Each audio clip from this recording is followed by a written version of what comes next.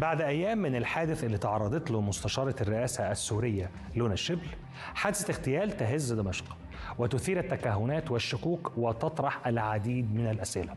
الضحية المرة دي هو رجل الأعمال السوري والمقرب من الحكومة براء قطرجي مولود سنة 1976 ومؤسس شركات زي مجموعة قطرجي القابضة وشركة أرفادة للبترولية.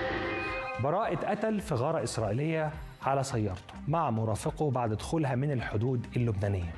وكتير قالوا إنه كان عراب تجارة النفط ومسؤول عن تمويل عدد من الجماعات المسلحة اللي شاركت في الحرب بسوريا.